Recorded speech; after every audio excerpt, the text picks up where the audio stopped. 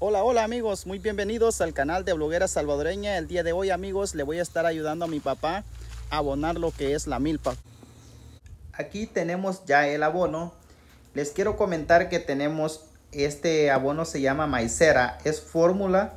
El otro, este blanco que le vamos a estar echando es, mm, es sulfato. Este bueno para el crecimiento, el otro es bueno para darle color a la milpa. Y pues Ahora amigos lo vamos a estar revolviendo de esta manera. Quiero mostrarles a cada uno de ustedes cómo nosotros abonamos acá. Y déjenme en los comentarios cómo abonan este donde ustedes se encuentran en su país. A donde quiera que ustedes se encuentren, si lo hacen diferente, pues déjenme en los comentarios. Pero nosotros lo hacemos de esta manera y lo funciona muy bueno este abono así para el crecimiento y para el color de la milpa ya que estuve revolviendo lo que es el abono, pues ahora amigos, acabe de venir de nuevo porque fui a ponerme los zapatos porque andaba solamente en jeans. Ahora tengo acá el cumbo, el que voy a estar utilizando para este, llevar los pocos de abono y irme surco por surco. Les quiero comentar, acá está la bolsa del fórmula. Este se llama este maicera. Este es abono maicera nada más que fórmula. Y también tenemos el sulfato para crecimiento. Ya estoy aquí amigos en la milpa. Miren como pueden observar qué bonita tiene la milpa mi papá. Les quiero explicar acá este pedazo de que está aquí amigos. Pues ustedes saben que cuando yo caí enfermo, este se estuvo, ya estaba limpio. Pero este para no perder la tierra que estuviera así bastante sucio, pues mi papá se puso a sembrar. Este con todos mis hermanos le ayudaron a sembrar lo que es la milpa entonces, este, para que no estuviera sola la, tierra, pues ellos hicieron la milpa y le estuvieron sembrando lo que es maíz amarillo. Entonces, este, ahora pues este, no se encontraron los mozos, los mozos no pudieron venir acá a, ayudar a abonar a mi papá. Entonces le dije yo que le iba a echar la mano como estuve hablando con el doctor, el doctor me dijo de que ya podía este, hacer este, mis primeros trabajos, pues no esforzarme mucho. Pero aquí andamos un cumbito ya para poder estar este, trabajando. Ese cumbito es pequeño y vamos a estar comenzando ya a abonar. Como pueden ver, yo me cubro acá todo esto así para que la hoja de maíz este, no, no me pegue pues en la cara. De esta forma es como nosotros abonamos acá en el campo. Este, pues lo sentimos muy agradecidos con Dios porque miren, ya mi papá ya obtiene ya pues este maicito que es maíz amarillo. A pesar de que este maicito es tierno amigos, miren qué rápido va creciendo, más con esta abonada va a crecer más y más rápido voy a mostrar cómo se tira el abono. El abono se tira así, miren. Ahí se tira el abono y ahí pues eso, este esa blanco se consume. El blanco es para crecimiento y el otro este es para darle color a la milpa. Miren, de esa manera es como se hace, ¿ven? Acá está la otra mata. Ahí se tira. Siempre se busca el lado donde corre el agua. Como acá ya lo tenemos ya, miren, abonado, ¿eh? De esa manera es como nosotros abonamos. Los cuidados que debemos de tener en la hora de abonar amigos es cuando nosotros pasamos por las hojas de las matas y andamos las manos bastante húmedas.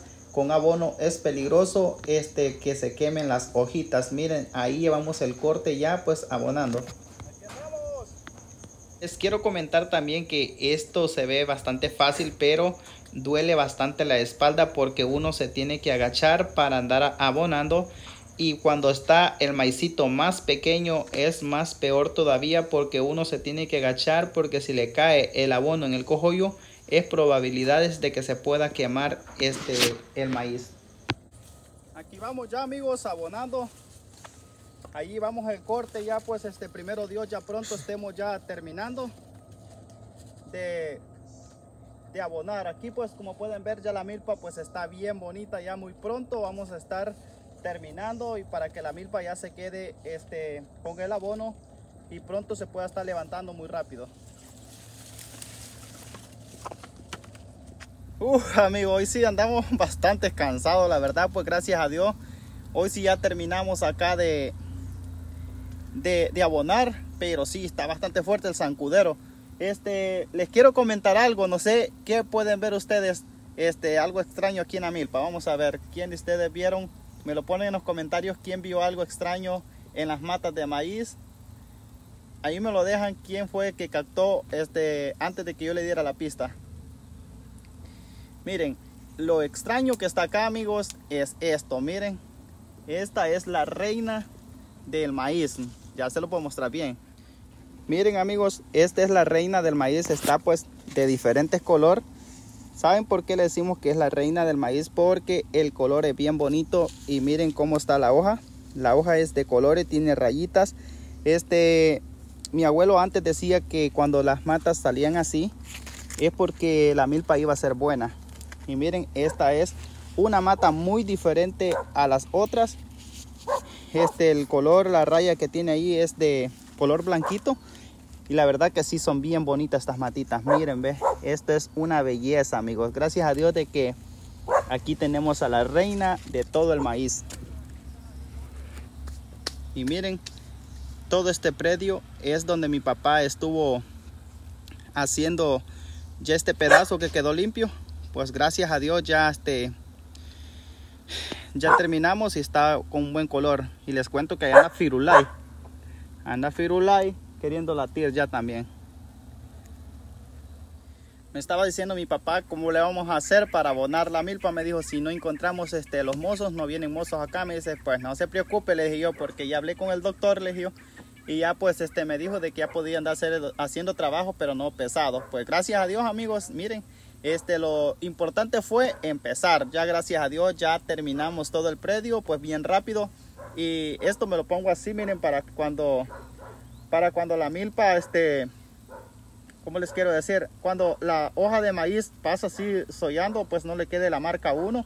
Es por esa razón que yo me puse esto así. Y como pueden ver, así miren, ve. Qué bonito se ve la milpa. Es por esa razón que yo me pongo esto así, amigos, pero no pasa nada. Así pues ustedes pueden hacerlo, pues si no tienen un gorro específicamente, solo se ponen una camisa.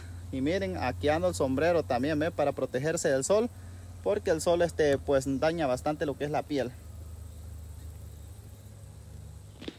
Les quiero mostrar, amigos, cómo se mira el panorama de este lado. Ya vieron que aquí está el cojollo de la mata, aquí está el centro y miren las otras para allá como se miran de bien bonitas gracias a Dios de que la maleza pues no creció mucho ya una sola abonada y pues un solo riego le estuvimos poniendo y miren qué gruesas están las matas gracias a Dios de que ya con esta abonada solo vamos a esperar de, de que este pues agarre fuerza la milpa para que empiece a gilotear o ya sea pues a tener señoritas como ustedes le quieran llamar.